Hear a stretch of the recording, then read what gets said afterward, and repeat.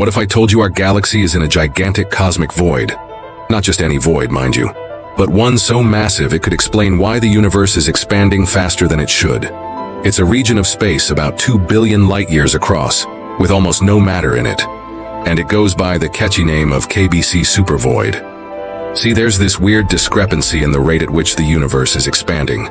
The most precise measurements of the cosmic microwave background radiation suggest a rate of about 67 kilometers per second per megaparsec. But measurements of nearby galaxies from supernovae and Cepheid variables suggest a rate of about 73 kilometers per second per megaparsec. That's a difference of 10%. It's called the Hubble tension. And scientists have a radical idea to solve it. What if the gravitational effects of the KBC supervoid are influencing our observations of nearby galaxies, making them appear to recede faster than they really are? It's a fascinating idea that could revolutionize our understanding of the cosmos, and it's just one of the many mysteries that await us in the next era of exploration.